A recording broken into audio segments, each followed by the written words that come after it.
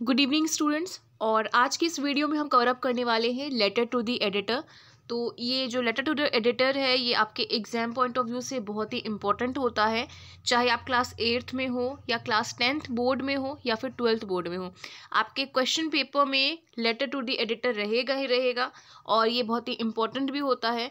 तो आज के इस वीडियो के माध्यम से हम कवर अप करेंगे लेटर टू दी एडिटर तो चलिए बिना देर किए वीडियो को स्टार्ट करते हैं। होपफुली ये वीडियो आप लोगों को समझ में आ जाएगी और आपको ये वीडियो पसंद भी आएगी।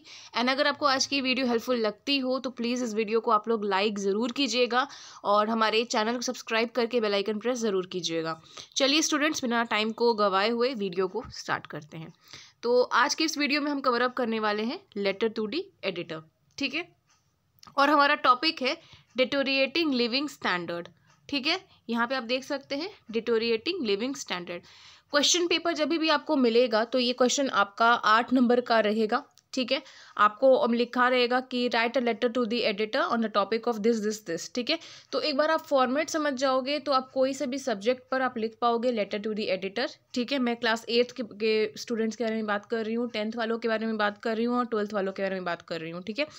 तो यहाँ पे क्वेश्चन दिया गया है हमारा कि write a letter to the editor of a magazine expressions New Delhi on the deterioration in the standard of living in your city give suggestion for the improvement sign yourself S P M R ठीक है? Question एक बार ही हमने पढ़ लिया। Question आपको समझ में आ भी गया होगा। ठीक है? क्वेश्चन नहीं समझ में आया, आएगा आपको क्वेश्चन पेपर में तो आप क्वेश्चन को दोबारा से पढ़ोगे तो आपको क्वेश्चन समझ में आ जाएगा। ठीक है? चलिए इस क्वेश्चन को हम लोग अटेम्प्ट करते हैं।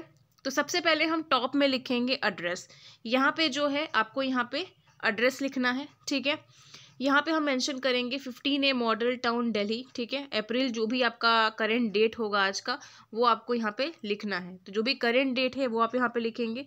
उसके बाद आपको यहाँ पे लिखना है एडिटर का पूरा एड्रेस ठीक है? समझ में आया आप लोगों को? उसके बाद यहाँ पर आप लिखेंगे स ठीक है? यहाँ पे आपको कभी भी रेस्पेक्टेड नहीं लगाना है। रेस्पेक्टेड सर या रेस्पेक्टेड मैडम क्योंकि ये ग्रामेटिकली एरर होता है। जब भी आप ये किसी को सर या मैडम बोल रहे होते हो तो आप ऑब्वियसली उनको रिस्पेक्ट ही दे रहे होते हो। तो ऑब्वियसली आपको यहाँ पे सर ही लिखना है। डियर सर या रिस्पेक्टेड सर लिखने की ज़रूरत नहीं है। ठीक है? अब हम यहाँ पे आते हैं तो यहाँ पे हम मेंशन करेंगे हमारा जो भी सब्जेक्ट है वो। तो हमारा सब्जेक्ट आता है deteriorating standard of living in the capital city ठीक है? तो आपको ये मिल सकता है कि आपको फाइव हंड्रेड वर्ड्स में लिखना है टू फिफ्टी वर्ड्स में लिखना है वन थाउज़ेंड वर्ड्स में लिखना है। तो वर्ड्स का आपको ध्यान रखना पड़ेगा कि हमको इतने वर्ड्स में ही लिखना है। ऐसा नहीं है कि पाँच सौ शब्द में आपको लिखने के लिए बोला गया है, आप आठ सौ शब्द में लिख दोगे तो आपको पाँच नंबर एक्स्ट्रा मिल जाएगा। नहीं, ठीक है?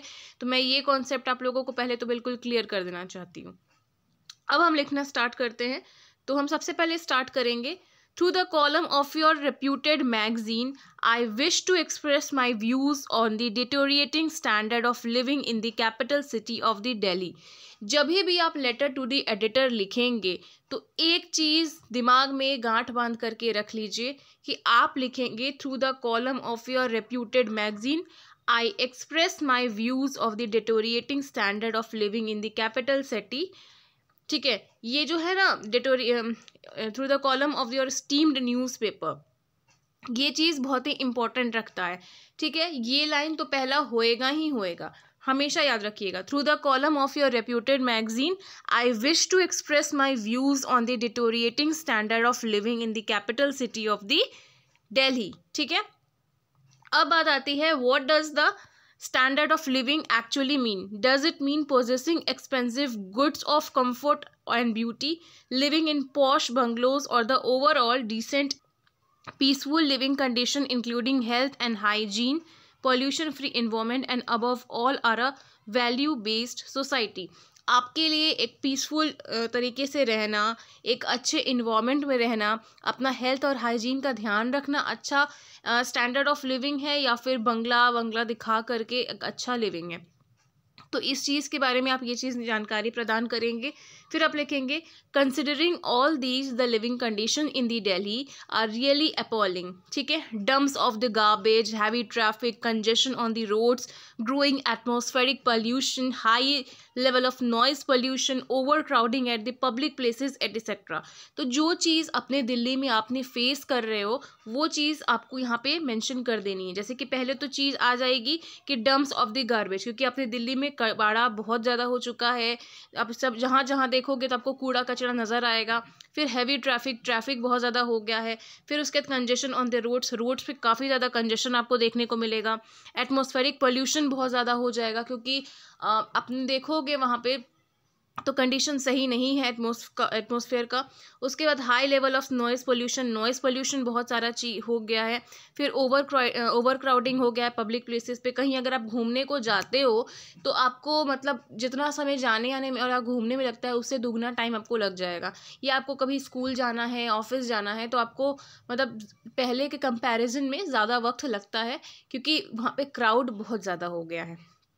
तो अपनी जो भी तकलीफ़ है अपनी जो भी प्रॉब्लम फेस कर रहे हो, वो सारी चीज़ें आपको यहाँ पे मेंशन करनी है। फिर उसके बाद हम लिखेंगे through ample light of the deteriorating in the people standard of living our lungs are hungry for fresh air and green belt यानी कि इतना यहाँ पे पोल्यूशन हो गया है कि हमारे जो लंग्स हैं, वो बिल्कुल भूखे हो गए हैं। एक फ्रेश एयर के लिए और ग्रीन बेल्ट्स के लिए मतलब कि यहाँ पे पोल्यूशन बहुत ज़्यादा हो गया है। The large number of immigrants from other states to Delhi put tremendous pressure on the resource of the city the housing problem is growing rapidly with the lack of civic civic amenities. The life is so busy that there is little interaction among the neighbors. Hurry and worry is what best describe the life in the capital city. With growing consumerism and the rising prices, the disparity between rich and poor is increasing day by day. ठीक है तो ये सारी चीज़ें अपनी जो है वो आप यहाँ पे मेंशन करेंगे। Something judicious needs to be done to the remedy this situation more green belt and silence zones to be created यानी कि इन सभी चीज़ों से बचने के लिए एक हेल्दी लाइफ जीने के लिए ज़्यादा से ज़्यादा साइलेंट जोन बनाने चाहिए और पेड़ पौधे लगाने चाहिए, है ना? द फिर लिखेंगे the unrestricted inflow of people to Delhi should also be checked only then the standard of living can improve मतलब कि यहाँ पे बताया जा रहा है कि अगर ज़्यादा से ज़्यादा मतलब ग्रीन बेल्ट्स बनेंगे, यानी कि पेड़ पौधे लगाए जाएँगे साइलेंट जोन्स बनेगा तो हमारे लिए काफ़ी पीसफुल रहेगा, हम शांति से रह पाएँगे।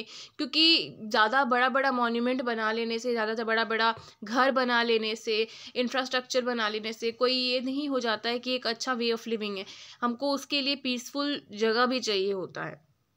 तो ये सब चीज़ हम लिखेंगे। फिर लिखेंगे only then the standard of living can be improve उसके बाद आपको यहाँ पे लिखना है योर्स ट्रूली पी और अपना नाम. तो मुझे उम्मीद है कि आपको आज की वीडियो पसंद आई होगी। इसी के साथ जय हिंद, वंदे मातरम।